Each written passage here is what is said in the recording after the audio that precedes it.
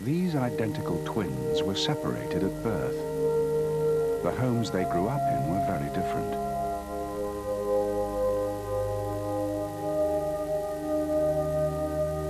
In their own ways, they both became successful. They recently traced each other, having suddenly decided to do so on the same day.